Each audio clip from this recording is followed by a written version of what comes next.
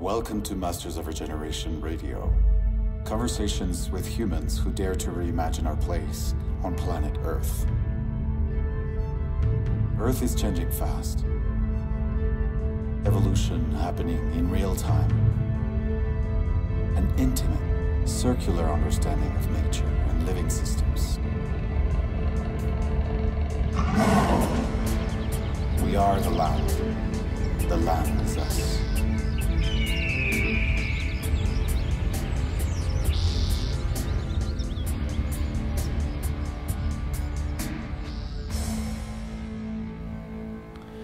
Hi, everyone. You are listening to Masters of Regeneration Radio conversations with humans who dare to reimagine our relationship to planet Earth.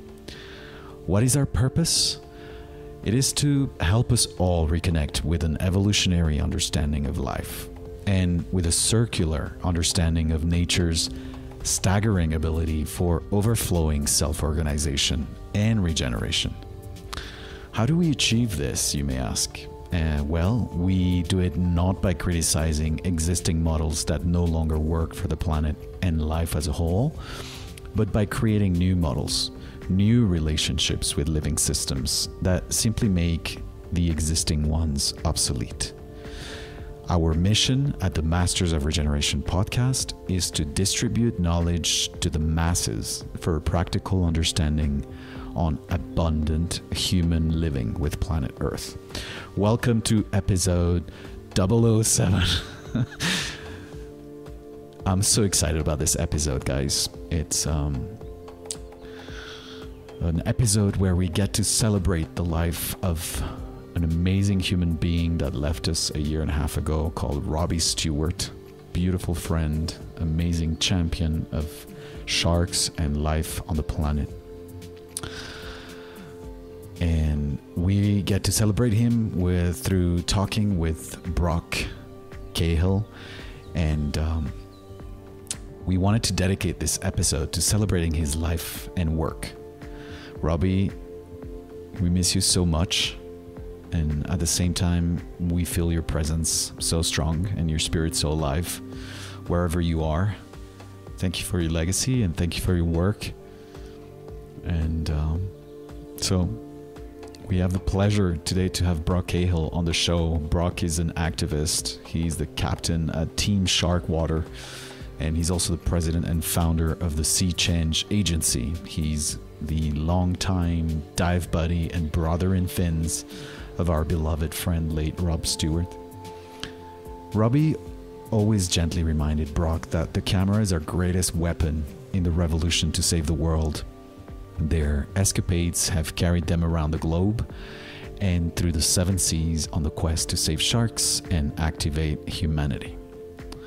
So, arguing that sharks are misunderstood as dangerous creatures, biologist Rob Stewart traveled to the Galapagos Islands, Costa Rica, and other places where the animals can be found and he released with his team an award winning, life changing documentary called Sharkwater in 2007. Underwater, he fed sharks to demonstrate their fundamentally non-violent nature. With 90% of the shark population destroyed by hunting, indiscriminate hunting, Stewart joined forces with conservationist Paul Watson to fight poachers who illegally kill the animals for their fins and sell the meat to the Taiwanese mafia. If you haven't watched Sharkwater, please it's online. You can rent it. You can watch it on Vimeo or, you know, a bunch of other on-demand platforms. Please watch it. It's so freaking amazing. These guys go around the world and they go straight at pirates and expose this whole thing. Um, with Sharkwater, they helped to protect sharks, they changed government policy around the world, and inspired the creation of shark conservation groups. It's, Sharkwater is considered one of conservation's success stories.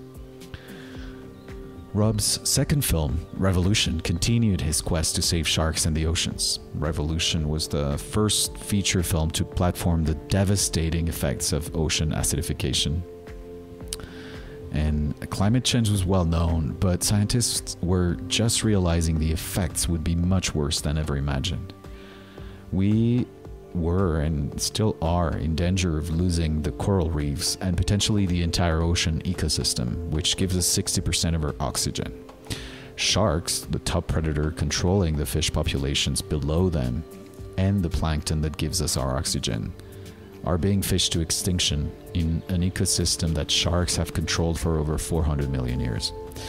Every year, 100 to 150 million sharks are killed, but only half of them are reported including endangered species. Shark populations have dropped more than 90% in the last 40 years.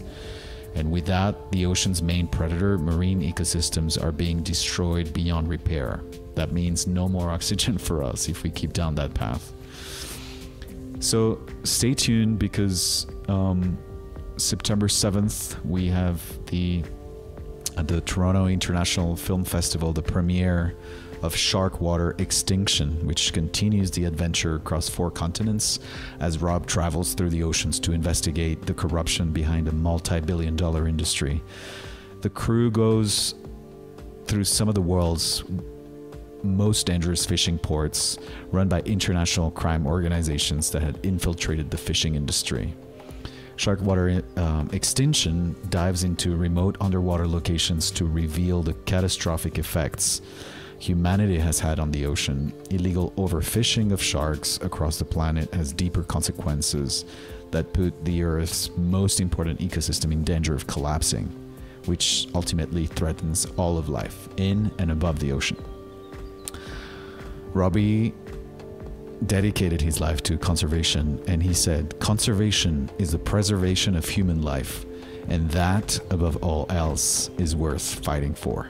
He taught the world to love the oceans and their creatures and not fear sharks through his iconic images of hugging and freediving with sharks and mantas. Robbie passed away while shooting Sharkwater extinction last January 2017. He was a Canadian photographer, filmmaker, and conservationist, and all around amazing human being. He was compassionate, inspired, and he was a lot of fun to be around we danced a lot and we lost him way too early, but his spirit and legacy live on through his upcoming film Sharkwater Extinction. And I want to thank his friends and his family for all their conservation efforts and for Brock to showing up today and have this awesome conversation you're about to listen to, guys. Um, I had the pleasure of meeting Robbie together with an amazing group of 40 creative humans at an Unleash the Power Within event with Tony Robbins in, in LA a few years ago. And we had started talking about collaborating on a project, and then all of a sudden he was gone. It was so hard to accept that he did just like that when there was still so much to do and so much to eh, create and enjoy uh, for him and for those of us who were lucky to share some life moments with him. So here we go Brock Cahill on Masters of Regeneration Radio. Fantastic. Oh, too bad. I was looking forward to seeing your lovely face, but you know, you got time. to see it for a second, and I saw yours. I didn't see your. Very I didn't handsome. see you at all. no. No, no. Unfortunately, I was hiding out the back end. Nah, I'm joking. it's all good. It's all good. So, how are things? Oh, things are crazy, bro, but yeah. they're pretty good. You know, life is it's wild these days, but I'm holding on for the ride. Let's put it that way. For sure. Wild because of everything with Sharkwater, or beyond that. Yeah, that that is a, a big impetus for it, but it spills out into the rest of life too. How so, about you? Where are you at these days? I'm in Mexico City. I was um, I was in Bogota for six months from January to the end of June. And wow. And then I was like, I need to get out of here. I don't know if you've been to Bogota, but it's like it's super high up. It's you know 2,600 meters. That's uh, I don't know, like 8,000 feet or something like that. Um, yeah, high altitude. High altitude, polluted, crowded. It rains nonstop. It's very gray. Um, and and so I left. I went to the Mayan Riviera for a bit. Went swimming with uh, whale sharks in Holbox and and I just nice. you know it was so good. Oh, it was so replenishing.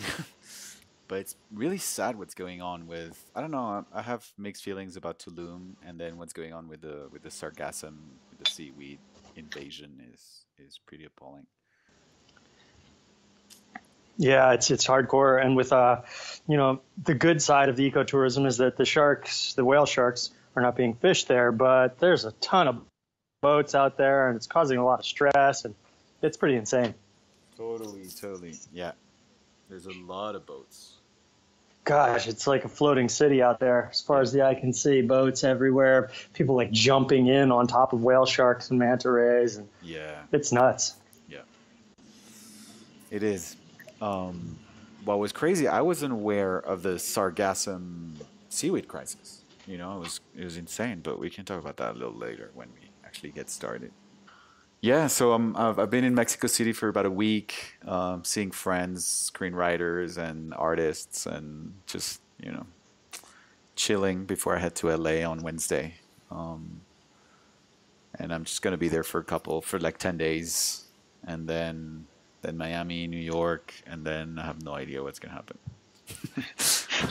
That's the way to ride, I guess. Yes. well, it's the you know I'm fully engaged in the present right now. that a boy. Yeah. The only way to be. Yeah, totally, totally. How do you say your name with your accent, Tomas, or how do you say it? Tomas, yeah. Okay, perfecto. Which is yeah, I've been since I was a kid. It's been pretty confusing because I grew up in France, and so my teachers would always like, if they didn't know me, they would be like, "Hey, you're missing an H. Did you forget to spell your first name?" I'm like, "No, it's not. no, it doesn't. Like there's this. no H." Go to H, teacher. Yeah. How about your last name? How do you pronounce your last name? I want to ask you. Cahill? Uh, it's, it's Cahill, actually, Cahill. the American way. Yeah, that's Cahill. the Irish way that you said it. Yeah, Cahill. You can say it that way. That, that I get a lot of that too. Today we have Brock Cahill on the show. Yeah, that's very Irish. Yes, that would go over well with the homies back in the motherland. Is that where you're from? That's where my family's from. I, I was born in the states. Cool. All right. Oh, I'm so excited to do this, and and I've been just like feeling Robbie really strongly and just uh, missing the shit out of him. Also being, you know, feeling really happy to do this. So. Yeah, that's great, man. Thank you for doing so and helping us spread the word and continuing his message and his his legacy. And I don't know how well you knew him. You guys were pretty tight friends. Well, we met. We went to a Tony Robbins Unleash the Power Within thing. With, cool. Do you know, do you know Kishan? Yes. Yes, so I do. Kishan put together like 40 crazy people together and Robbie was one of them to to go to this Tony Robbins thing for three days, and you know we were just um, so we had a, a like forty seats just for ourselves, and we were called the Love Tribe, and and we are wearing onesies, and it was just like the the insane group of the nine thousand people that were there. Of course. And um, and we connected so so much and and you know we would hang out and party in his house in Malibu and and with the rest of the tribe we were pretty pretty tight for a bit and yeah and then um, I was sort of I it was like the beginning of this project of of the podcast but I I which I want to turn into a documentary series and so we started talking about it and Robbie was like, well, dude, you know, as long as it just helps save life on the planet and we can educate people and all that, I'm in, you know, let's do it. This was like, we were talking, and this was November before January, you know, before yeah uh, his death. So, then he was like, yeah, I'm gonna be traveling and on, you know, talk soon, and then that's it. That was it. Yeah. So yeah, man. Yeah, it's it's it's been hard without him for sure, and uh, it's just like I'm glad you got to connect with him and see that side, and and that's his answer to everything. Well, would it be good for the planet? Good for life on the planet? Good for the film? Let's do it. You know, yeah. It's it's a beautiful thing. And he always had such a good and stellar attitude and was willing to give time, energy, and resource to whatever he could to make a difference. Yeah. Were you there at Thanksgiving, the Thanksgiving party, um, where we made when we made some geese? I don't know if you were there or not. Uh, I probably was actually. I don't know if I was there this year. I've been Thanksgiving a few times up at the place in Malibu. I can't remember if I was there this final year or not. I don't know if it was like, yeah, I don't know if it was that 2016 Thanksgiving or the one before. I can't remember. It was definitely the one before. Yeah. Yeah. So yeah, we did a lot of you know, a lot of cooking, a lot of fun parties. Yes. Um, I know he was getting really tight with that crew that he went to Tony Robbins with, and yeah. all that stuff. I, I he had a, another tribe that was similar and did a lot of full moon parties and stuff like that up there. Sweet. And yeah, it was the two were starting to conjoin, but didn't quite make it all the way there before the untimely departure. Yeah. Yeah. It's like in a selfish way, you know, like what the fuck? Where? What do you do, Robbie? You know, like there's still so much to do, and and and yet he's so alive in so many ways. That's so very true. And Oh. you know, I've been dealing with uh, pretty severe depression, to be quite honest with you, Tomas. Oh, and man. it's like you know, it's been a year and a half now, and I've gone through a lot of stuff and carried, you know, a lot of things forward that we were working on. Yeah. And just recently, I've like almost started to get mad at him, you know, which is Oh. awful, awful and terrible. And you know, it's it's all in jest, sort of. But I'm like, God damn it, dude! Why the fuck did you leave me with this? You know, like. yeah. But at the same time, it's it's a gift and a blessing because of everything that he started and was a catalyst towards. It's just, you know, I miss him so damn much, and I, it was so much more fun when I had him here to do all of it with me. Well, of course, yeah. Yeah. Yeah, I can't But- imagine.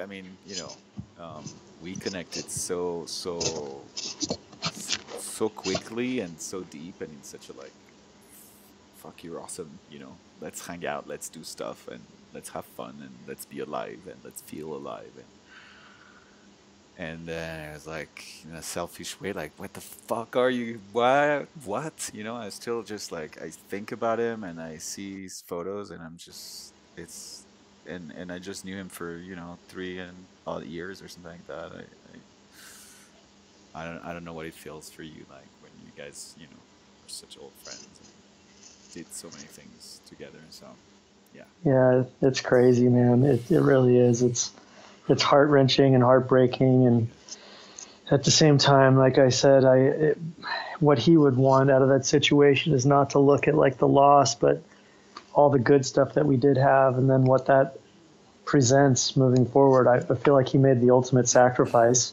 Yeah. because his mantra was always like, "Well, would it be good for the film? Okay, let's do it." And I feel like uh, this was almost like scripted in some sort of way. Like he made a decision, and he, you know, this is not something I would say on the air to anybody else really, but like he almost made the ultimate sacrifice to propel the message forward in, in a way that he knew it couldn't be done any other way. It's crazy, you Yeah. know. Yeah. I, and uh, I feel that, and I feel that often. And you know, I was with him the day that he died, and, and I was with him through, throughout that search. And while we were doing the search, we couldn't find him for days. The visibility was really bad in the water. I And on that third day, that third day, I made a pro. Like I just sat down and started meditating on the boat in the midst of all the chaos and the melee that was going on. And I started talking to him. And it was the first time since he disappeared that I actually started talking to him. And he and I had this very unusual way of communicating with each other where we didn't need to use words because we were mostly underwater. So Yeah. we'd just speak via energy, as you Yeah. can imagine. You know, Yeah. like we learned to do it by talking to sharks and then by talking to each other that way. And so I just started talking to him and we had a conversation and it was wild. It was just like, you got to let me bring you back. And he said, no, Oh. I'm not. I'm not coming back, dude. I'm happy where I am. This is this is what I want to do. This is how I wanted to go, and this is it. And I just begged him. I was like, please, man, for your family, for your mother, for the rest of the world, to get some closure. You know, otherwise it's going to be a completely different scenario. Oh my god. And he kept refusing, and then you know, as Robbie would do, like you know, like this is it, man. I'm stoked. This is fucking awesome. And, oh, but, and I was like, oh, come on, bro. And finally, he acquiesced and he said, okay, but you have to promise me that you're going to continue on the mission and you're going to finish our project. And I said, of course. Of course I will. You have my word. And the instant that I ha- he had my word, we found him. That exact second. Wow. Yep. Oh, dude. Yeah. And then, you know, it was like, whoa, lightning flash, and he was right there. So you were on the boat, and then the divers came up with him, or? Um, yeah, we were using an ROV actually, a, a remote operated yeah. vehicle, little okay. unmanned sub, yeah, yeah. and it ran straight into him. Oh my god! And then uh, as soon as that happened, like within within a snap, the guy that was driving the ROV started screaming, "Everybody, get in your gear!" and called me over to the camera and said, "Is this him?" And it was. Oh man. yeah. What a story. Yeah. It's fucking crazy. You know, it's true Robbie style. Yeah. It's, you know, it's it's got something to it that. Yeah. yeah. And you know, he just oh, he so... is making sure that the mission continues. He's directing it from afar. Yeah. He, he's got me here to work on it from the ground, and uh, you know, it's like everybody has banded together in solidarity to make sure that his legacy continues, and it's a beautiful thing. Yeah. It's so strange. Yesterday, um, what you were telling me about how everything kind of like unfolded and how, in a very strange way, was scripted. Um, so I'm in Mexico City, and my friend, who's a famous um, singer in a Mexican band called um, Maldita Vecindad or something like that he was telling me he knows a lot about the Mayas and the Mayan calendar and all the rituals that they used to do. And he was telling me about the pelota game. You know that? No. So they used to play with a ball that was like three kilos or something like that, like six pounds, like a six pound football. Mm-hmm. And and so I knew about it. And I knew that they ran like for hours and hours and hours for miles and miles on end. And but what I didn't know was that there was this other version of the game, which was at a temple, and what the it was actually like um, like a like a prophetic ritual where they would reenact the solar system. The players the players were like a horoscope or the constellations or something like that. Wow.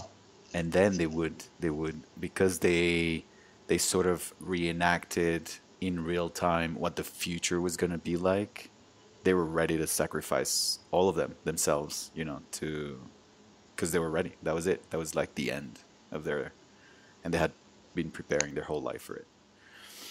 It kind of resonates with what you were saying with Robbie. It's just very, very enigmatic. Yeah, truly. There's a quote from him in the film, and I don't know exactly what he saw and what he pictured, but it says in the movie, you'll see it and you'll recognize this clip. He says, I know, because it's talking about being scared of dying and something along those lines. And he says, I'm not scared of dying at all. I know exactly when and where I'm going to die. what? Yeah.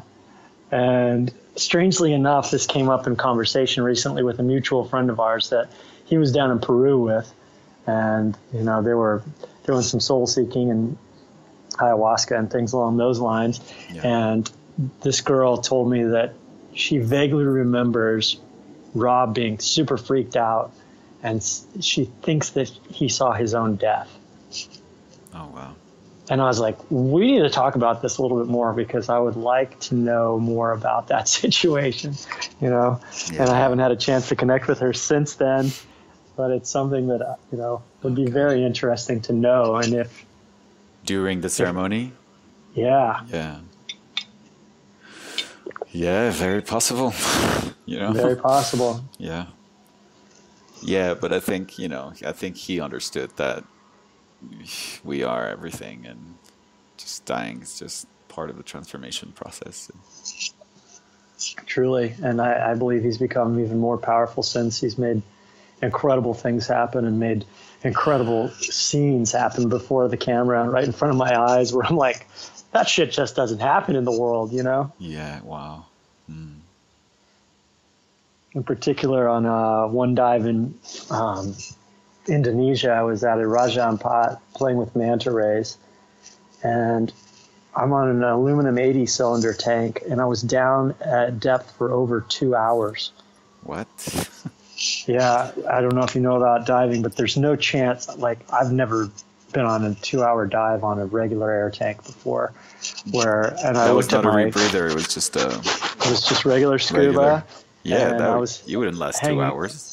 Nah, no. Yeah. Mostly, you know, even really well seasoned divers, you know, an yeah, get hour. about an hour or so on an aluminum 80 tank. And I was just blown away because I looked at my watch and I'm like, holy fuck.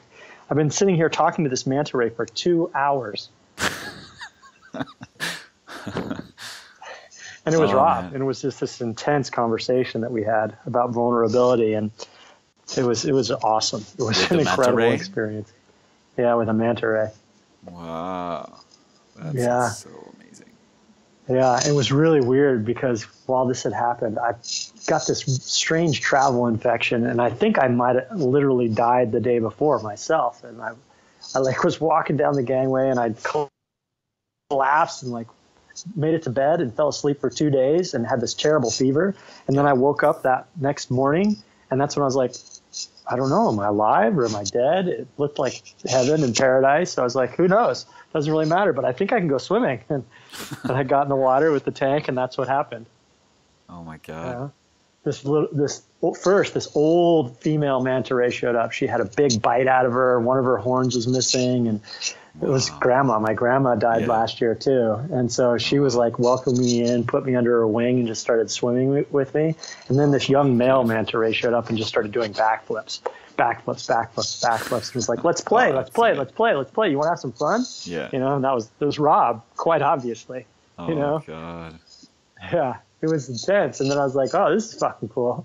And so we just started playing. We had a good time. And then th- th- he started talking to me. And he's like, you've shown up your whole life either as a turtle, which was my spirit animal previously with a lot of protection and a shell on, or a shark with, with like implements of destruction and weapons, Totally. you know? Yeah. You know, so you know how to protect yourself, you know how to be aggressive. I'm asking you to show up in vulnerability like a manta ray that has no defenses, no weaponry, just trust at the right moment that Yeah. the right people and the right players will show up at the right times. And a ton of a- grace. And a ton of grace and beauty in the water. Oh Yeah. my god, yeah. You know, and and it changed my entire life. Oh, that message of mm. trying to be vulnerable of of like showing up and being that guy rather than like bracing yourself for impact or a combat or whatever Yeah. you know Yeah. it changed everything i came home and i kind of opened myself up and it freaked my wife out and she divorced me No way. yeah Oh wow. there Yep. you are, open and loving and compassionate and cracked open. Yeah. And then she's like, no. yeah she's like that's not who i married you know Oh, well, yeah, you know, it's, I, I, I bet it would scare the shit out of some people. Yeah, it did. And she and then she bailed. So oh it was interesting. And I was like, that's the first lesson? Okay. Okay. Awesome. Well, yeah, I guess. This was last year? Yep. Wow. That's Hell of a year, bro. Yeah, hell of a freaking year. Everything kind of just got stripped and like pulled away and started over. Same here. Same here, bro. Yeah? With last year. Yeah. Really? Yeah, for me it was like, well, came January 2017, I was like, there's a lot of change in the air. I feel like I'm not gonna stay in the U.S. and I feel like I'm gonna be on the road a lot, but I have no clue what's coming. then Robbie died. Then I launched my documentary worldwide, and broke up, ended my three and a half year relationship, like dramatically big explosion and and life just said you're ready for the next level and i'm gonna push you hard towards that next level it's not gonna be nice Yep. and oh my god, so hard, so hard. Incredibly. And then Was everything somehow was like- scripted, right? yeah. Somewhat That- like it's like I cannot explain how everything has happened, and it's been exactly a year. Exactly when you know that eclipse season, like August last year. Yep. Yeah, it's it kind of started anywhere between somewhere between end of June and early August, and it just like, and for me, every the energy just completely shifted. Uh, Yep. On my birthday two weeks ago, Yeah. August first, it was just like, oh, okay, we're coming out a little bit out of that inward journey, you know.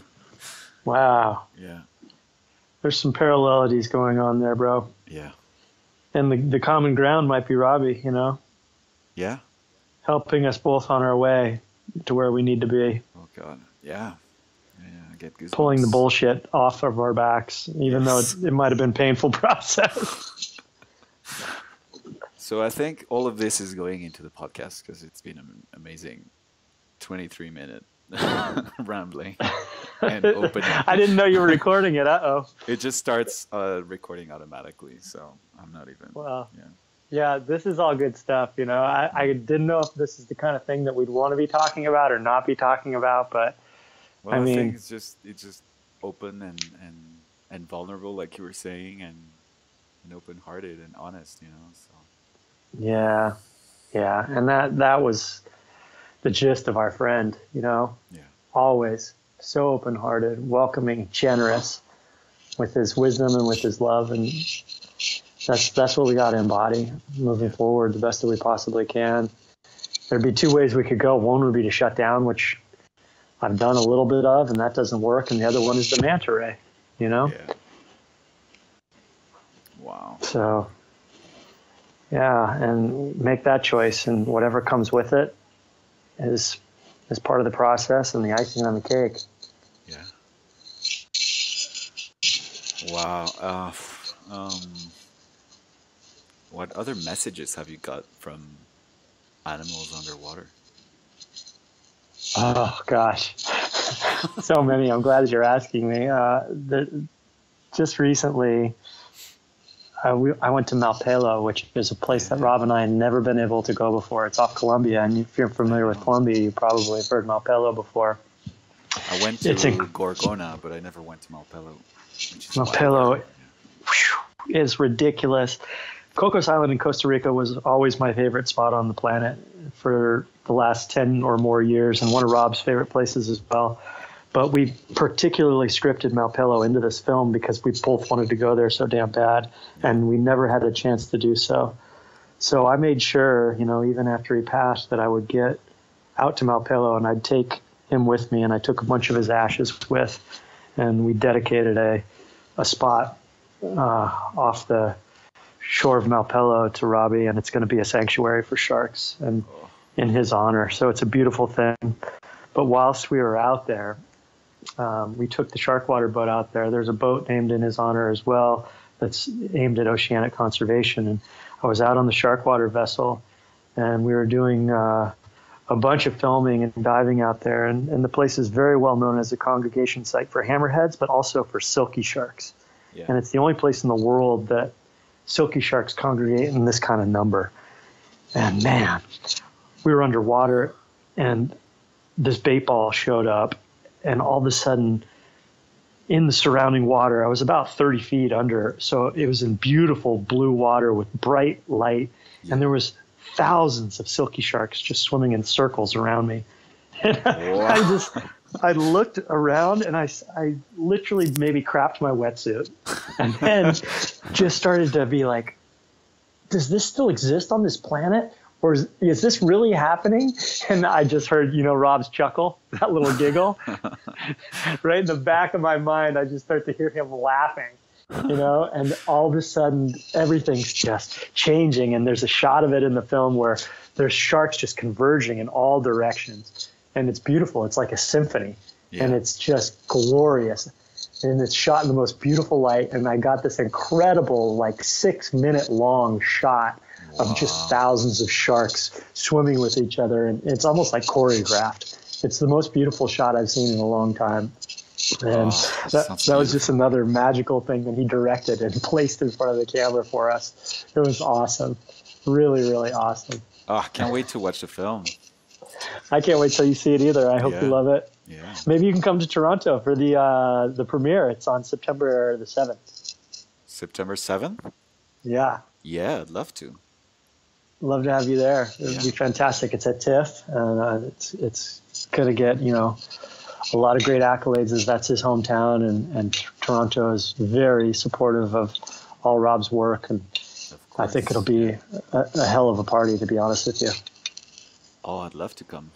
Um, I'm gonna be. I think I was gonna I was gonna fly to New York. I think September third or fifth from Miami, but I think I might just fly to Toronto and then go to New York or something like that. That's easy. Yeah. Yeah. New York is just like you know an hour and a half flight or something from Toronto. So Yeah. there you go, little side detour. yeah, for sure.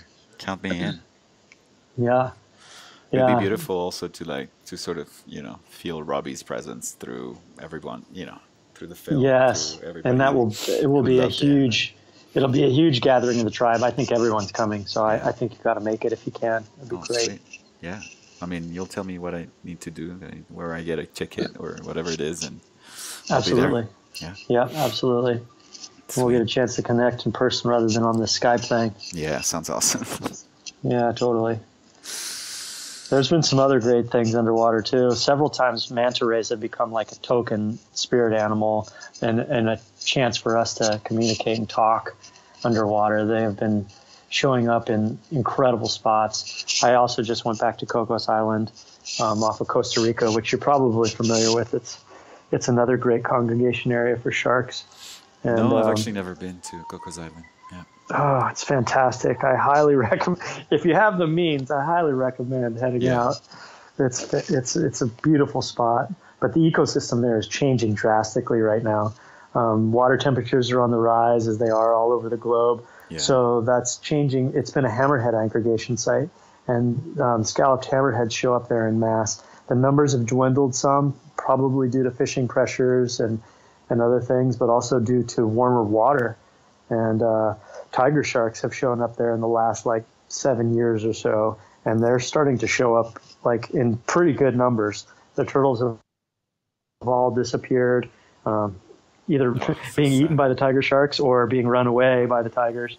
And um, it's really interesting to watch this kind of like cascade effect of the ecosystem changing and, and what happens in the food chain and who sticks around and who disappears and Yeah, yeah. you know like all the players are, are changing right now so this trip was very interesting go out there and watch the tigers start to take over the island and see what happens and uh, there was a particular tiger out there that they they've been how shall we say this like getting a little territorial and uh, protecting their feeding grounds i think they're starving to death to be honest with you Tomas. Wow. they're like hungry so they're just showing up wherever they can find food source so these tigers are showing up out there and they've been known to get a little bit aggressive with divers and uh, there was one y- little young male that was cruising around this uh, this kind of spire that sticks up out there called Manuelita, and and this tiger's cruising around, patrolling, making sure that everybody knows that this is his area.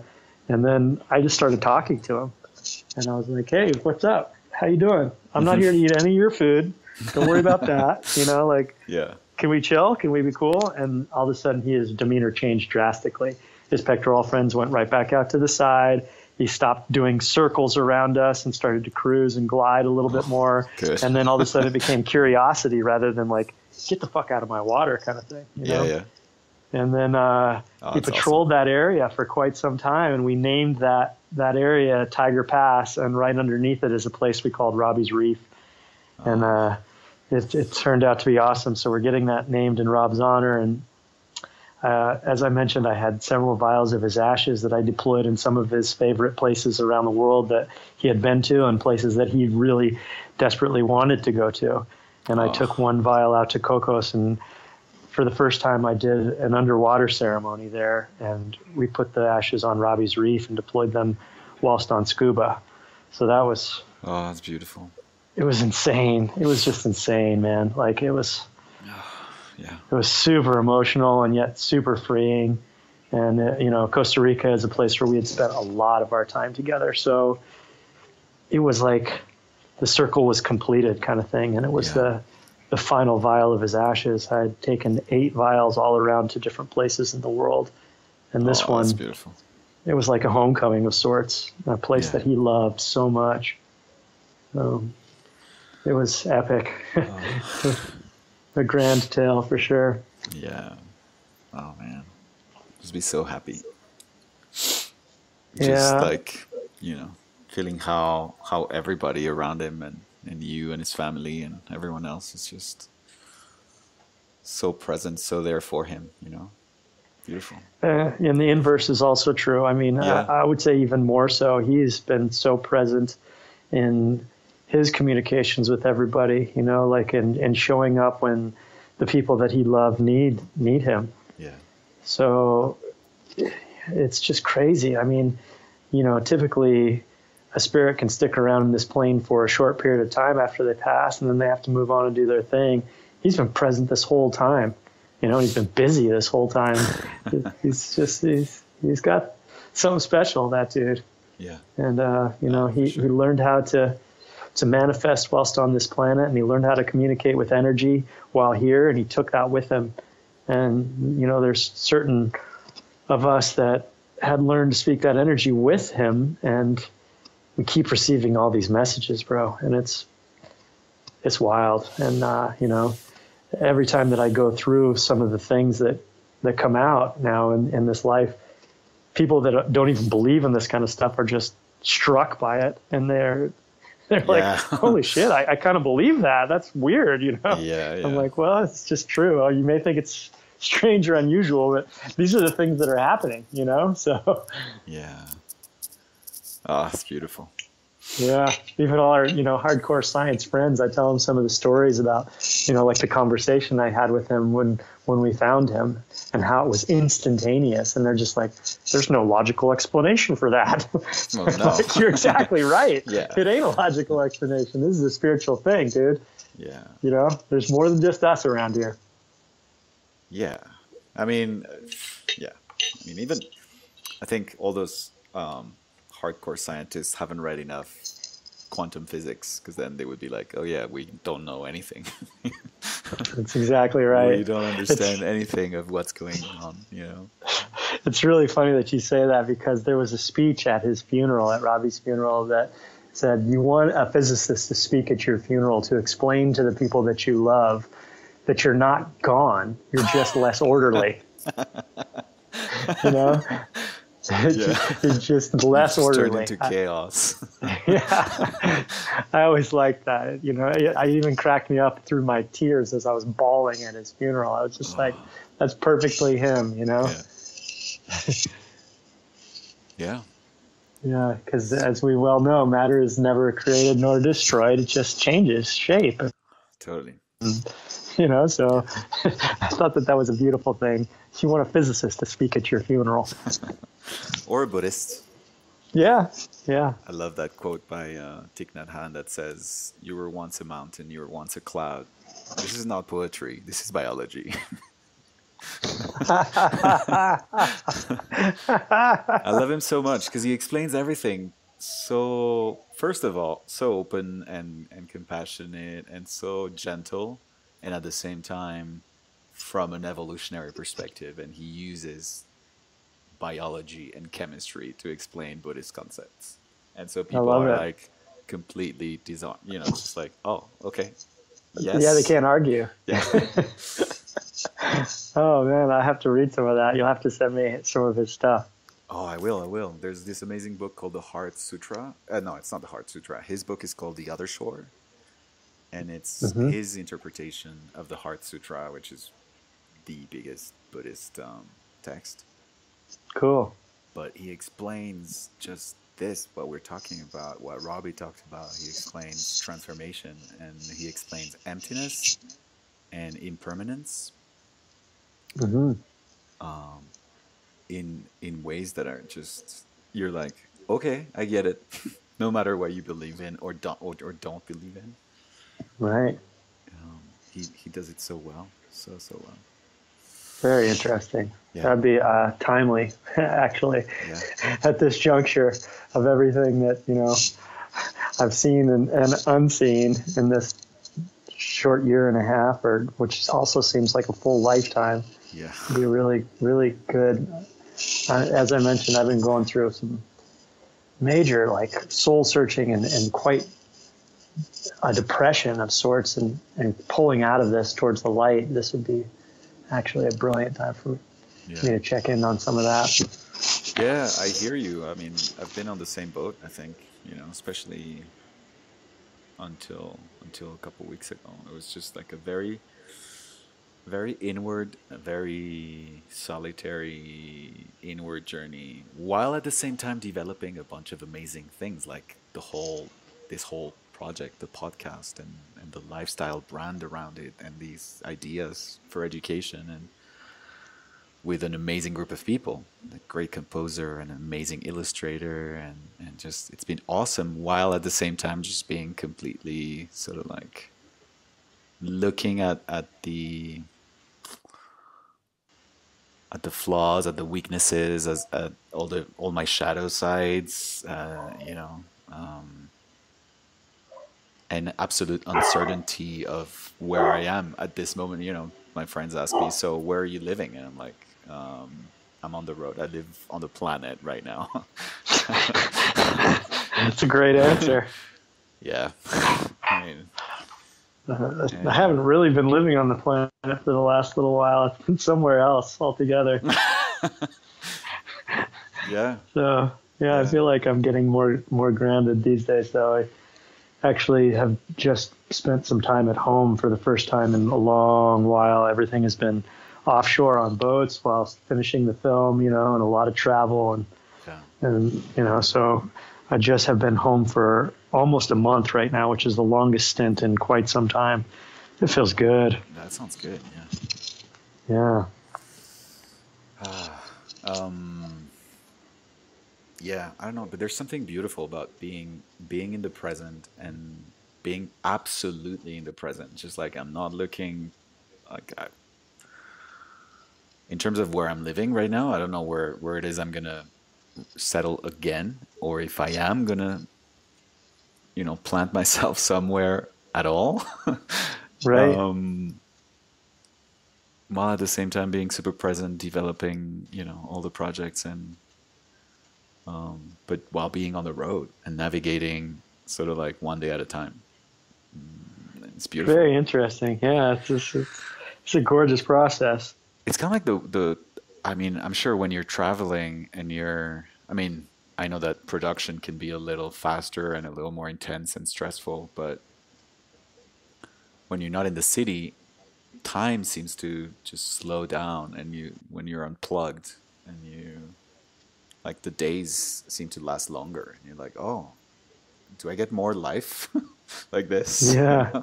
Yeah, the moments become lingering and sweeter. Yeah. You're right. When it's production, it's not that way at all. Everything goes super fast Yeah, all the totally. time. yeah. But um, I remember the days of travel, and when when Robbie was around and we were working on film stuff, it was a little different. You know, he had a a great way of slowing things down and not pushing too hard, and I miss that. You know, because we've we've had to really try to get things done. So it's been a little bit more hectic. When we were working together, it was on its own kind of timeline, and it would just it would be the way that it would be, and we'd find those sweetness moments, like stop at a little market in the middle of you know a third world country somewhere and buy a box of mangoes and sit on the curb and just eat them Yeah. all. Eat every mango that the store had and can just laugh Yeah. for like an hour straight. mango so yeah. yeah, just sticky and like you know, with the big smile and like all those little veiny pieces of mango stuck in our teeth, and those are the moments you remember. You know, Yeah, totally. they're great. Oh man. Strangely enough, it just seems that the day Robbie died, he was pushing things, right? Yeah. Um, Just going a little well- a little deeper one more time, you know. Yeah. Yes. Yes. Um, it was a it was a real tragedy in in that you know like there was a lot of elements in play, and of course this was a dive that we had trained to do for quite some time, but we were new to the equipment, you know, relatively new in the in the vast consideration of things. Yeah. And you know, um, Because you were Spending- using rebreathers, right? we were, yeah, we were using rebreathers. We've both been scuba diving for a really long time, but rebreathers were new to us, so we've been training for Yeah. about a year on the equipment. You know, there's a little less than that, about nine months or so. But uh, you know, that's that's new in the grand scheme of things, especially to be taking these kind of challenges. But we were very interested in finding the sawfish, and this was one of our best chances to look for them. So we were we were going for it, yeah. and you know, I I agree with you. It was a little bit pushed on that final day, and it's just it's an unfortunate circumstance. I, I would so much wish that there was a different outcome on that, but I, as we talked about before, Yeah. I guess everything happens as it's meant to. I, I can't find any other reasoning behind it, Yeah. Absolutely. you know. Yeah.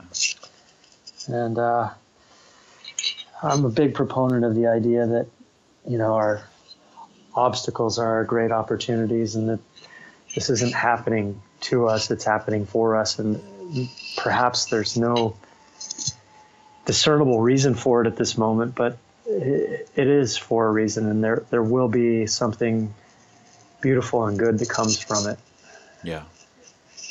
But it's a it's a fucker of a process, I'll tell you. Yeah. yeah, but what have you been doing to um, to, you know, help yourself and support yourself through this very stressful sort of, you know, and the moments of depression and real you know, I don't know. Do you do you hang on to something or do you think of him or do you still talk to him? I do. I still talk to him every day, really. Yeah. and uh, he's kind of a tough love son of a gun. You know, he's like, quit your crying. You get to go swim with sharks. This is supposed Yeah. to be fun, isn't it? You know, like he always he was always that guy. Yeah. me, you know, and he always says it with a grin and kind of gives me a little kick in the balls, but it's with love and you know. He was he was like my little brother. We spent so much time together over the course of the last, I guess, about twelve years or so. And it- Yeah. You know, like just we just had this way of being a little bit competitive with each other and and giving each other a little bit of a hard time, but it was always just in such love that you know, right now he I can hear him just laughing at me, just like I, I've heard him say so many times, "Quit your fucking crying, get out there and do this," you know. so I oh, definitely Oh, speak to him and hold on to that like sense of play that he always had, and uh, you know, I make sure that I remember all those good times, like the light in his eyes and that humongous smile that he had. It's just Yeah. it's contagious. You remember it. It's just like that grin when he's on the dance floor across from you, and then all of a sudden you see like Robbie dancing off the beat in some weird Yeah. way, you know, but just with a smile from Yeah. the corner of each eye, you know, just hanging on his face. you you just can't help but Such fun times, you know. It's it's yeah, I um, just feel that. yeah. Yeah, such fun times. And he was really he was the best at that that I know of. We dealt with a lot of heavy shit. You know, like being in places where they didn't want us to be around and seeing massive carnage to shark populations, which to him and I was like our family, you know, like Yeah. seeing thousands and thousands of carcasses all piled up on the cement floor of a port and he'd have a way of like somehow shedding some light on it, being positive about it, recognizing, like I talked about before, that this challenge was an opportunity for us to get better, for us to step up and figure out a way to communicate this tragedy to the world and help the world to be to evolve into their more full potential. You know, it was he, he was brilliant with that. He was the best that I ever known about remembering to enjoy life and to have fun and, and like you say, and in travel, slow down and have those moments that linger Yeah. that you hold on to and you remember that you almost watch like shot on a beautiful camera in, in gorgeous light, you know? It's just it's, Yeah, he was really good at it. That's true. That's true. It's it's He's really good at it. it, it's something I struggle with a lot, and I know a lot of people who also have the, you know, the protector or warrior or hero gene, you know, or configuration, whatever you want to call it. Um, Yes. we're always struggling between oh, I want to help change the world, and at the same time, I also want to enjoy the world and being alive. And how do I do it again? Yeah. and and you go through some periods where you're absolutely consumed with just your mission and you forget to enjoy that and he was always just i remember we we you know doing all these cool projects but at the same time there was all this dancing yeah. Always dancing. That's exactly right. You know, all like this awesome dancing and cooking and just celebrating life it's beautiful For sure. He was able to find that balance, and he was one of the rare ones that ever was. And he wasn't always that way. It, it took him a lot of practice to, oh, to find sure. that, Yeah. you know, like throughout the course of life. For a long time, he was steadfast on the mission. It was all work, and, you know, Yeah. it burnt him a bit. And he figured out a way to, like, oh, like, this is not sustainable. And I was always that way. And I was pushing him, let's work harder. Let's keep going, you know. And he was like, nope no we're having a rest day. You know, we're going to chill, and uh, I'm going Yeah. to listen to some music and paint my toenails, and we're going to go swimming. I'd be like, "What? We got shit to do. Come on, let's go." And he'd be like, "Nope." that's awesome. Okay, okay, that is so Let's have some fun. yeah. For sure. yeah. Yeah, yeah no, he was, he was brilliant with that, and it's. I think maybe one of the most important lessons that I have learned from him is just that you know he he'd want you to stop and dance, and smell some good stuff, and you know smile, yeah. Hang a grin from eyeball to eyeball, just in his fashion. yeah stop and dance Yeah, stop, stop, drop, and dance. I like that idea. should do some t-shirts Yeah, for sure. Oh man. So, um, on a quick technical note and ed- educational note, um, Yes. can you explain people what a rebreather is? I'm just gonna change subjects like that. Yeah, absolutely. Yeah, take me in whatever direction you need to go to get information for the podcast. So for the rebreather, um, it's a very interesting kind of technological development in underwater scuba diving. It's a closed circuit unit, which means that you recycle your exhale and it goes through uh, a process and a, a system to scrub the carbon dioxide out of it, and then you add a little bit of oxygen to it and you rebreathe it into your loop so that you're not exhaling bubbles and gases into the water. You're recycling and regenerating that that exhale into your following inhale. Yeah. So the reason that these are, you know, interesting and and um, valuable to people like Rob and myself is, you know, underwater animals are scared about bubbles. Yeah, Think yeah. about like going on safari in Africa into like a, a pride of lions with a leaf blower on your back, you know? The animals are just going to scatter. They're just, what the hell are you doing here? You know, Yeah. it's, it's almost a similar thing with an Yeah, open circuit scuba rig underwater. You're swimming, and all of a sudden you've got this big exhale coming out, yeah, you know, and it disturbs everything. yeah, So we took to freediving quite a bit because it's a very beautiful and pure form to get underwater and, you know, not have disturbances in the water column. yeah. But, But a couple of minutes, course- I guess, don't do it. Yeah, there's there's limitations to it. And we trained a lot with freediving and at, at a certain point our breath holds were getting really good. Um, mine has diminished since the accident because that goes along with confidence and everything else that goes Yeah, along with for it. sure. but I'm training to get it back up. And, you know, I, I think I'll be freediving for a really long, long time. And Rob really loved freediving and he was very good at it and very talented at it. And we, towards um, the, the initiation of this film, we were starting to get trained by some professionals. We had always just kind of done it on our own. but we actually took some courses and started to learn some techniques and stuff, and and the breath holds were increasing dramatically, and it was pretty cool. So, so we were very excited about freediving, but as you mentioned, you know, you get a few minutes, three, five minutes, and Yeah. all of a sudden you're you're limited. And so rebreathers were very intriguing to us in that we could go down and stay down for literally hours without creating this disturbance in the water, without having bubbles and you know all kinds of noise and and junk that goes along with it. So we were training to use these rebreathers in the film, and uh, our we did one shoot with them off California, but our first big shoot was the one in the Keys, Yeah. which ultimately ended in tragedy. Yeah. Uh, Yeah. we were unfortunately we were looking forward to using them quite a bit, and I don't know if I'll ever dive on a rebreather again or not. Everyone has asked me that question over and over again. You you're going to use that thing? You know the status is not good. You know there's a lot of people that have died on these units, and my answer is I'm not sure. Like I, Yeah. I don't know if I'll ever dive on that again or if I won't. But I will tell you that I really did enjoy the process while we were doing it, as did Rob Yeah. They're For sure.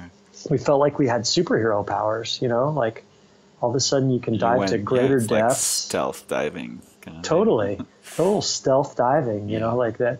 And we, and to me, it, it felt different than diving on compressed gas in that it didn't really take as big of a toll on your nervous system and on your physical body. Yeah. I, I, it sounds to me like you're a diver, so you probably Yeah. know, like when you dive, and especially on air, it, it like tires you out, and you feel you feel the effects of it. You know, if you're spending a lot of time at depth, nitrox is a little better, obviously, and different gas mixtures are a little bit better than just regular air, but depending upon what depths you're working at. But the rebreather was it was very interesting because you can also manipulate the concentration of and the the mixtures of your gases to be ideal for the depths that you're diving at. So you're always breathing the the best mix possible for yourself. That sounds, So that sounds amazing and very sophisticated. it Sort of is, like, you know, yeah, It- yeah. It's it's not it's not like a cakewalk to learn how to do it. It's very technical, and you know, um, there's been a lot of hearsay about like you know, well, these guys were using gear that they didn't even know anything about, and whilst it's true, we are new to this kind of technology in the grand scheme of things. We, Yeah. we were we were trained on it, and we spent Yeah. Close to a year working to get towards this level.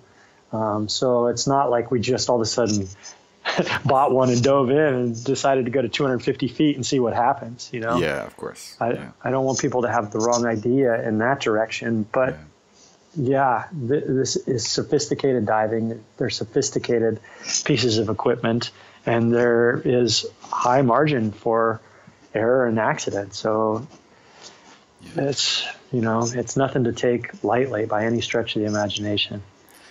Yeah. So in a way, it's the it's not like because the the gas mixture process is so sophisticated. It was more a thing of maybe just going too deep too many times or something like that. Yeah, I mean, uh, the Coast Guard and the Navy has done a bunch of different reports as to what they consider to have gone wrong, and they still haven't released those port- reports yet. And this is a year and a half later, so Wow. they're really taking their time and really digging through all the evidence and, and all that kind of stuff. So Well, like you said Yeah. earlier, it was probably just yeah scripted in a very strange, mysterious way. You know. Um, it's a big part of it, bro. I mean, I I believe in that, and yeah.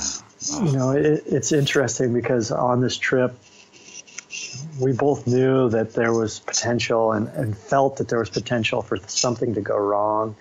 And, you know, the trip had been canceled previously, and there was a lot of different like roadblocks that came up, and we kept being like, okay, well, what does that mean? How do we do this? What do we do? Let's mm-hmm. keep going. Let's figure it out. And, you know, looking back in hindsight, a lot of it was telling us, you know, don't do this. And we both knew that, but at the same time, this is what we do and this is what we trained for, you know, and like even though, though there's risk, does that mean that we don't go? And we both knew that, but I never thought it was going to be Robbie. You know, like I, yeah. to be honest with you, I thought it was probably going to be me that didn't come back from that. But uh, that, I didn't know what to do in that particular thing. This is like one of the oldest debates of like this is dharma and purpose, and this is what's set before me. Yeah. And even though it's challenging and there's things that tell you to turn back, does that mean you quit on your mission? That's not how we go about things. That's not how he would go about it, nor I would go about it. We would just try to get over the obstacles in the best way that we possibly could to continue forward on the mission. And this is part of the mission that we thought was very important. Yeah. And unfortunately, it just um, turned out with the hmm. a result that I wish was really wish was different. You know, yeah. like, uh, I would give anything to have him back. Oh. Mm-hmm. I would give anything to have him back. Oh man.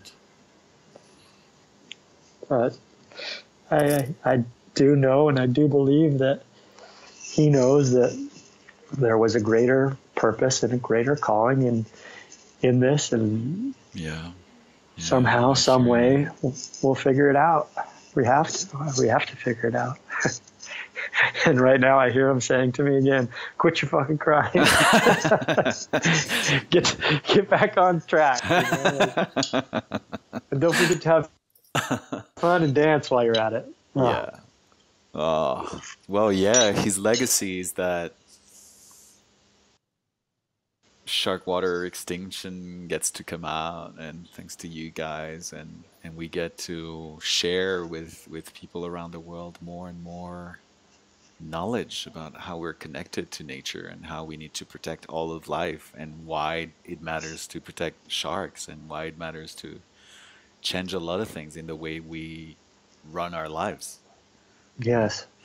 Yes, absolutely. You know that old quote, "My life is my message." Well, it rings true for Rob as well. You know, it really does, and it's just like his message and his life, very well lived, is providing a shining example on how to do this. And, and you're right to notice the importance of sharks and what they mean, not just you know to the oceans and to that particular ecosystem, but what that ecosystem means to all of us on this planet so very crucial that we start to take note and protect it because without the sharks on this planet, nothing else will exist. And I believe the planet will probably survive over time. It'll take a long time to rebuild itself, but it's, you know, if it goes out of balance in such a grand way that these architects that have built life on this planet for 450 million years and controlled the entire balance of things in the oceans, which controls the balance of things on land. You know, if we if we thrust this out of balance in a way that is unrecoverable, the planet will take a massive hit. It'll shake us all off like fleas, and then it'll start over. And who knows what life will look like? Yeah. You know, There's... after that process there's such an there's such an important mirror for for every single human I think to to look at trophic cascades and to look at predators and and see they're like a role model of you know how to take care of ecosystems and and um, absolutely. and we are yeah i'm so glad you said that word trophic cascades. I love that word. Yeah. Yeah i mean it's so cool. it's um we're at the top, right? And and we need to start, you know, finding balance ourselves. Yeah, and right? understanding the responsibility that being a top predator, you know, means the the the responsibility that comes with being on top of the food chain and actually you know properly managed you can just make everything thrive so much more and all of life is just just self organizes and just blooms into richness and, and beauty and diversity. It's really interesting what you just said. I've never really thought of it in that way, in that, you know, we are the apex predator on land, basically, and sharks are the apex predator in the ocean, and, and the imbalance of how, you know, their population is dwindling so drastically and ours is rising so drastically. Yeah. It's a really interesting thought process to use that as a mirror and Yeah. as an, a law of inverses in sorts. But now that you're mentioning that, like looking at it on an equilibrium kind of scale and to use our own kind of thought process on this planet and compare it to how sharks work in the trophic cascades, we have to apply that same principle to us on land. Yeah. I've never thought of it that way, but I really like that. That's awesome. Very cool. Glad you see it. Very cool. Yeah. Yeah, that's really cool. Um, Yeah. I've been working on a story to, you know, show the role of sharks in the ecosystem on a reef. Kind of like you may have seen that video of like wolves in Yellowstone, how they've even changed the course of rivers. yeah, it's know? a beautiful video. Yeah. It is. It's Yeah. gorgeous, and it Yeah. was so profound and like just the reintroduction of the predator into this ecosystem. What happened to everything else? You know, Yeah. and I've beautiful. been working on trying to show that in the water. It's gorgeous, and um, we have a really cool story that we'll put out at some point that kind of portrays this story and and the shark as the apex predator and how ecosystems thrive when things are in balance. But- Oh, that sounds amazing. it's great, man. It's a beau- beautiful, beautiful shop. And now you've just given me an idea of how we show that with people. You know, like Yeah, and correlate the two absolutely. and take it even one step further. It's it's awesome. I really, if that's what comes out of this conversation today, I'm fucking stoked. Yeah. That's a it's a good move. Yeah, Like, that would be awesome. Actually, Yeah, it would be well, awesome to do a story on each of the top predators. You know, like the wolf video is already there, but you know, you do the sharks and you could do the jaguars and the lions and so on and so forth for every single um, ecosystem on the planet. Absolutely, Oh, yeah, that's- absolutely. that's but the whole way I see it right now is like it's a it's a delineation between the water and the land, and I never, I mean, I've thought of us as the apex predator on land, of course, because it's true, Yeah. but I didn't really think of how it affects the entire food chain and and you know the definition of the trophic cascade. So Yeah, thinking about that and and what that means with us as the apex predator so far on balance and population and how that's impacting the world and all the species that you know cascade down from that. Yeah. it's a it's a totally different thought process for me. So Yeah. thank you. Thank you very much. I'm so glad I could contribute a little idea. yeah Um, me too. That's a well- great one.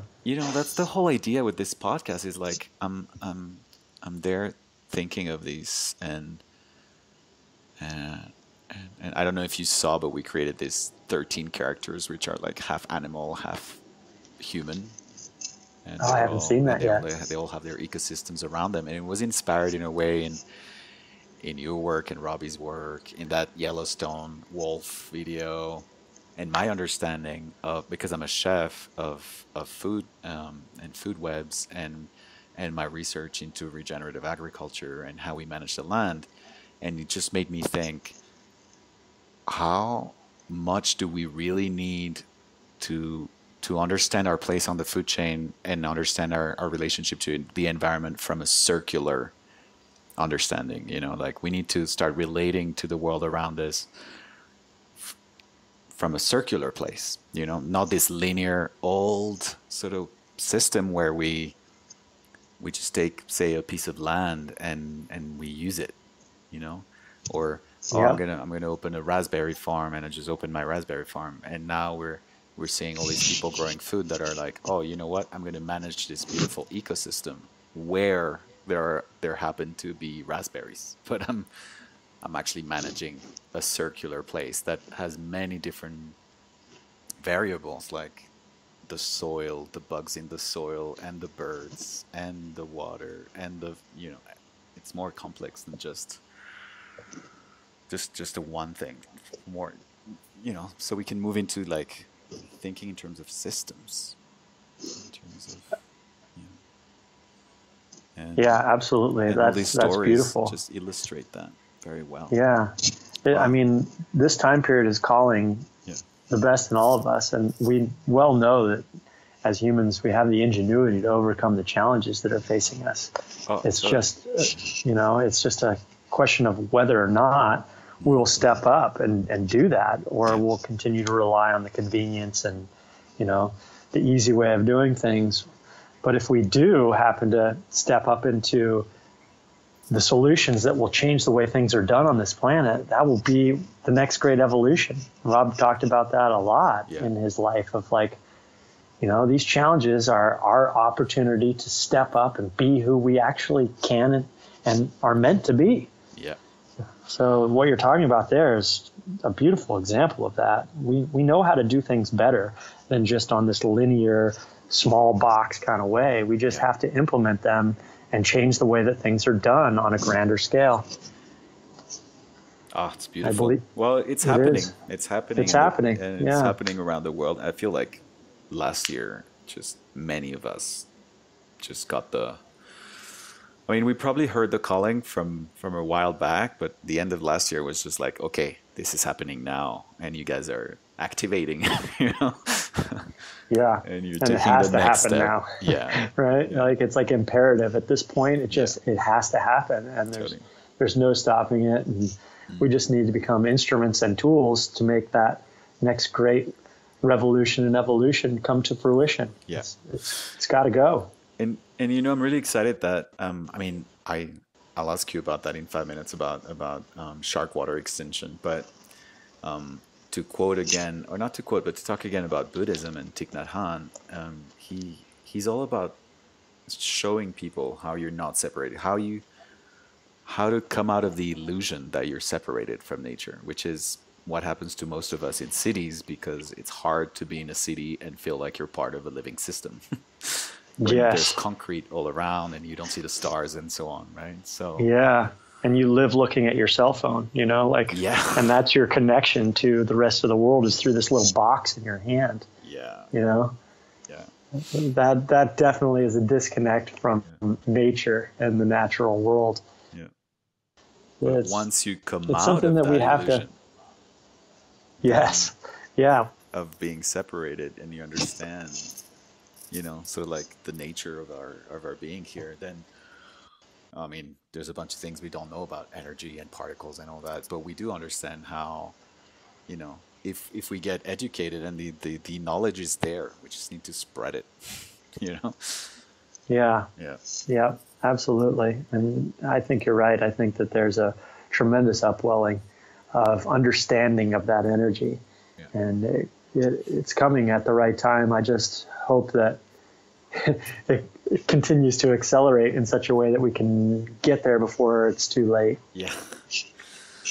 Yeah, I mean, what uh, there's so many, so many clear changes. I mean, this year has been the the hottest in history around the world. Um, yeah, I was in the Colombian Caribbean, and the island I remember from I hadn't been there for like 25 years. This short, tiny little island that was like paradise. I remember you would get in the water and you had to like ask the fish to just move away because there were so many of them. It was so crowded with fish and with you know uh, rays and just it was beautiful the coral reefs and, and all that. And now the the beaches were gone Hmm. and there were there was hardly any coral and then there were just like a handful of fish around you Was like, Right. wow that's sad that's just very depressing you know that's in our lifetime. Yeah, Yeah. isn't that And wild? this like is just 25, 25 years. years, It's, yeah Yeah, it's just it's so gnarly. It's so gnarly. Yeah. And we gotta we gotta halt that kind of uh, downhill slide and hopefully move it back uphill towards what was once beautiful and yeah gotta try to reinvigorate Yeah. nature and, and the wilderness and everything that goes along with it. Robbie had a thing that he was wanting to do called wildify, rewildify the, the planet. i remember yeah was, uh, i remember that after- yeah, I remember talking to him about that? Yeah, About it's Wildify, cool. yeah It's just like, yeah, it's like, like exactly what we're talking about, living in harmony with nature rather than trying to, you know, conquer or destroy or manipulate it. yeah absolutely and that's that's where we got to go. I mean, these are precious resources that are worth a whole lot more than dollars in the bank. Yeah.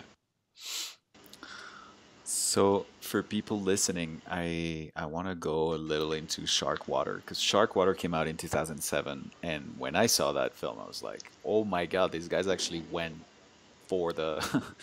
I remember those scenes where you know Robbie goes with Paul Watson against the pirates and the whole thing. It's just like, oh my god! it was such an important Yeah. documentary on sharks and exposing shark fin illegal trade, and, and it inspired so much.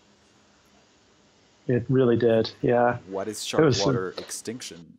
Um, what what story is it telling us? What can we expect? What what are we looking at? Well, it's a, a reinvestigation of the similar problem. As you mentioned, Sharkwater was groundbreaking in that it, you know, changed government policy in like 22 countries, and 150 million people now live in a place where shark fin is an illegal substance. So it had a massive impact on the world, Wow. and it changed a lot of people's lives, including That's mine, including yours. Yeah. yeah, it was it was drastic what it could do as far as the film goes, and you witness this whippersnapper young charismatic dude that wasn't going to take no for an answer and he was going to go out and save sharks and you know put his life on the line again and again in order to tell the truth of the story of that was happening and at that point it was largely about shark fins and shark fin soup because you know the fins were being hacked off of sharks alive and the carcass was thrown basically back into the water because it would take up too much uh, real estate in the hold of the ship. So they just wanted to keep the parts that were worth the money. So they'd throw the rest of the shark back and it would die a horrible and gruesome death because it couldn't swim. And sharks, for the most part, need to be able to swim to breathe to get Yeah. water moving through their Oh gills. So they would suffocate and die, and often it would take you know a long time. It's, it's like akin to slicing the the mouth and the legs off of a dog or something, and say, "Go fend for yourself." You know they can't do nothing. Yeah. So it was terrible. It was it was a brutal and tragic kind of practice. So Sharkwater really kind of changed that. It brought shark finning to light, and um, you know it, it changed a lot of how things were done. Uh, the demand for shark fin soup has gone down like by 70% in Hong Kong, they say.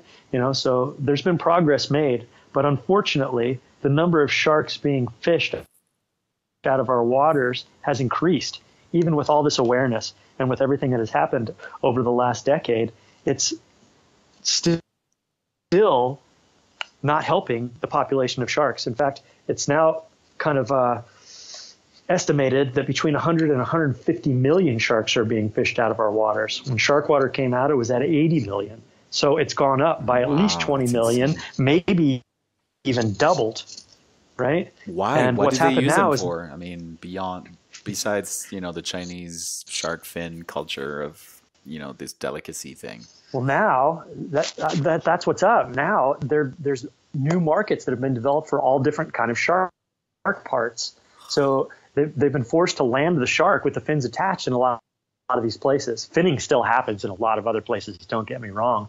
Yeah. But now in a lot of spots, you have to land the, the shark with the fin attached. So they've made new markets for shark product, and it, the, the liver oil is being used in like cosmetics, and it's labeled as squalene, and it's this stuff that's being used in lipstick and moisturizer, and shark parts are being used in fertilizer products. So you're spreading shark all over your garden to grow some vegetables unwillingly, you know, uh, or it's being used in pet foods. You know, like uh, kitty cats are eating shark. Tell me that's not a food chain that's out of whack. Yeah, You know, like- that's insane. It's insane, man. Apex predators being fed to Yeah, the guys house who cat. are needed to control the whole ocean ecosystem. Yep. Yeah, it's crazy. And of course, you know, human consumption as well. It's being mislabeled for human consumption. It's being served as fish and chips in London, you know? It's being served as, as like different things called rock salmon and flake and boillo and casson and all kinds of different things. So yeah, people are eating shark, which to be quite honest with you, is a terrible move, not just for the health of the sharks, but for the health of the human beings. Because as an apex predator, as you can guess, mercury levels and PCBs Yeah. and pollutant contaminants like go exponentially up the food chain. Yeah. So they start to mass in in the high level predators, and sharks are at the top of that. So if you're eating shark, you're eating an exponential like cesspool of contaminant. Yeah. So Oh, that's insane. that's not only bad for the environment and the ecosystem, it's terrible for human beings. It's linked to all kinds of neurotoxins and brain damages and in children in Florida. It's been linked to all kinds of different cancers. It's it's a bad news situation on all accounts.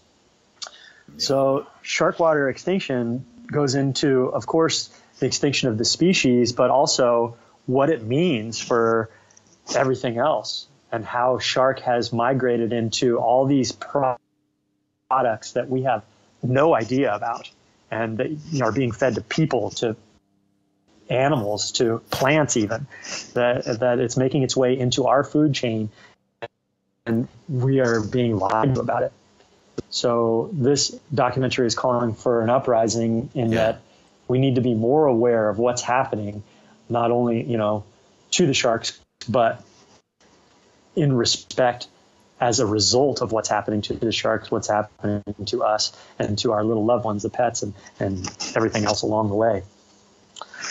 So that's kind of a nutshell of what's going on in Sharkwater, but it's as as it would with you know with Robbie and his positive message, it it spins it in a way that gives us solutions and actions to work on Yeah. that we can become part of the process and part of the movement to end this rather than just being a doomsday kind of like gloom and doom message that says this is fucking awful and it's happening you know Yeah. Yeah. this this is Rob so Totally. he's saying this is awful and it's happening but this is what we can do you know we can stop this and we can become part of the movement to change things in the world Yeah. and as always, our greatest challenges become our greatest catalysts. So it's calling that, that greatness that we were speaking about. It's calling all of us to stand up and find ways to be the person that changes the world, you know? And he was a shining example, a, a beacon and a lighthouse of that. And now he's asking us all to pick up that torch in his honor and march forward with with this mission that he's left behind for us. Yeah. So, Well, beautiful. so that's, the whole what we'll idea. do, I mean, you, we're Yeah. we're at a moment where we actually can, you know, figure out what the solutions are. It's just, you know, yeah, I love that Yeah, quote by uh, and- Fuller used to say that you don't change the existing reality by fighting it. You just create new models of reality. you know? yeah. That's why, he's one hundred percent correct. Yeah. I mean, we can we can reimagine I mean, our, it- our reality, and we can rebuild it. You know, we get to do that with We, our and we must. yeah, and we must. Yeah, Yeah. and we must because you're right. If you fight it, all you do is create a fight. Yeah, Somebody's going to dig their heels in and fight back just as hard as they possibly can. So Totally. you- you're right. We have to change the reality, and we have to create a new one that's beautiful. yeah, You know, that people want to be a part of. That's motivating rather than just confrontational. absolutely. Oh, I'm so looking forward, so looking forward to it. Thanks, watch man. it. Come to Toronto. Thanks for all the like, you know, thanks for showing up and and putting in all the hours and the energy while going through mourning Robbie's death and Yeah. oh man, Well, I wouldn't have it any other way. I made him a promise. You know, we For talked sure. about that promise, and I promised him that I would stay steadfast on the mission, beautiful, and uh. I, I, I wouldn't do anything else. And I, I miss him so much on this mission. He was like, he was the voice for it. Hmm. And I know that his voice will continue to carry. He's left us enough beautiful footage and interviews and quotes and everything that his voice will continue to be heard. And I just wish it was here to keep whispering, you know, like, oh, maybe not even whispering, just shouting in my ear. but the truth of the matter is that it, it still is here, and, and I'm lucky and graced enough to communicate with them on a daily basis. And as weird as that may sound to some, it just it continues to happen.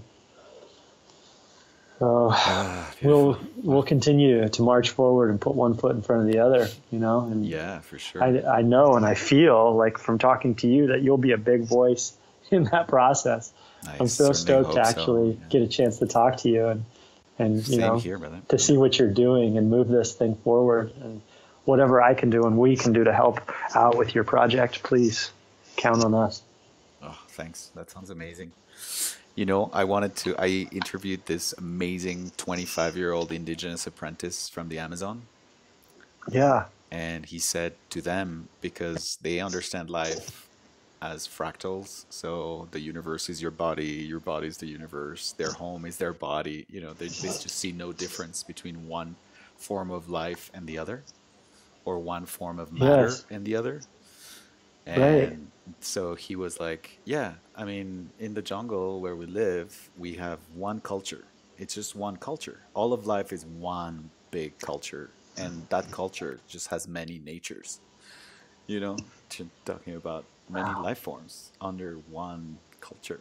That was so different than Yeah. than How can we implement that on a grander scale into all these other cultures, you know, out into the world? And, I mean, that uniform kind of philosophy is what we need to impart. And, Yeah. and, and like you talked about earlier, to recognize that there is no separation. Everything is delineated into these little boxes of that's this country and in their borders, so that's their issues versus the, the global village and population that we need to surmount all these obstacles and challenges that are presenting themselves. And that 25 year old indigenous dude summed it up very well. you know, I mean, if they've been able to continue that way of life successfully for a long period of time without much external influence, from my Oh. understanding. Yeah, You know? I mean, when you get a chance, maybe after after the after Sharkwater extinction launches or something, and you have about an hour, check it out on YouTube. It's it's in Spanish, but it has English subtitles, and it's just amazing because he's sharing the way they protect all of life in the Amazon, and they have for thousands of years. And so, Definitely going to check that out. That sounds like a blueprint for Yeah. the manual of what Yeah. we need to write, you know? yeah, totally. yeah. Uh, Brock, is there anything you'd like to add about Robbie or about the film, or you'd like to share with people listening? Well, if Robbie could share one thing, he would say something along the lines of This is the time that we're all gifted in order to find our true gifts and to strive for that beautiful world that we all want to live in. And we recognize, of course, the fact that nobody wants to live in a polluted and exploited environment, but it's not going to change unless we do something about it. And this is the time. This is our opportunity. And, you know, every once in a while, a generation is given the chance to do something amazing and something great. I believe that that is us, and this this is our time. And it can go one of two ways. You know, we don't need to talk about the one way, but on the other hand, this is our real shining moment to stand up and be who we are meant to be. And I believe that Rob was just a, a real champion for that kind of cause, and he he shone the spotlight in the direction in which we can go. And I I hope that somehow, some way, his words and his message and, and the words and the message that we all continue to share from his team and his family will help to be a roadmap towards that world that we want to live in. Fuck yeah. yes. Yeah. yes. Yeah. That, that sounded just like Robbie right there. Yeah. you sounded just like him. Yes. Fuck yeah, yeah. yeah. Yes. Yes. I mean, it's it's interesting talking to you because these are the kind of conversations we would have on long plane trips or on long car rides or you know boat trips out to a or whatever. It's great talking to you, man. I hope we can continue to talk. It's great talking to you you. know, It's, it's also the figure kind of conversation I used to have with him. You know? Yeah, yeah, kindred spirits. You know, like it's it's obvious when you find one that's in the tribe and you figure out that the mindsets are similar and and the vibrations just kind of gel into harmony. So it's it's fantastic. Uh, so glad we, we made it and we got the time to, to have this chat um, and and remember Robbie and just celebrate him and celebrate you and, and the whole team at, at Sharkwater. Um, Thanks, brother. I, Yeah. I am too. where can people um, follow you guys and where where yeah no website Instagram Yep. So the website is uh, www.sharkwater.com, and there's a lot of information up there about the movie and about the movement and what people can do to get involved, which is fantastic. We have a newsletter that goes out from there. You can sign up to be part of the team. Um, on Instagram, we're at Team Sharkwater, and on Facebook, it's Sharkwater. So you can find us on all the major platforms. It's on Twitter as well. So you know, I, I don't know if anybody uses Twitter anymore, but it must be out there somewhere. But you know yeah not, not supposed to say that. But um, yeah, we're up on Twitter. But uh, you know, you can Well, find us all, over all the platforms and stay connected with us. And then please do stay tuned for the film to come out. It's going to launch at TIFF, as I mentioned, in Toronto. Um, that'll be the premiere of it. It's Rob's hometown, and there will be a That's- massive outpouring of support. It's going to be a wild party, I think. Oh, So, awesome yeah, Toronto that'll be great. International Film Festival Yep, Right. it's, it's uh, the first weekend in September, and that'll be epic. And then it's going to have a theatrical release uh, starting on October 5th in Canada and in the U.S. And then it'll have you know uh, a film festival tour and theatrical releases in Europe shortly thereafter. So we'll, we'll be seeing it around the globe. Keep your eyes peeled for it. You can always stay up to date on the website and on social media channels. All right Brock well thank you so much for your time and yeah it was awesome to connect with you. Total pleasure. Thanks, Tomas. talk soon Okay, ciao ciao ciao for now. Bye.